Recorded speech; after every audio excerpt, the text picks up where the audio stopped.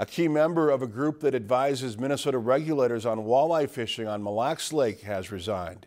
Mille Lacs Band of Ojibwe Government Affairs Director Jamie Edwards says the Mille Lacs Fisheries Advisory Committee has devolved into an anti-science, anti-treaty rights forum subsidized by state resources.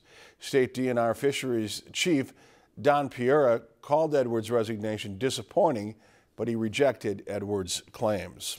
If you've enjoyed this segment of Lakeland News, please consider making a tax-deductible contribution to Lakeland Public Television.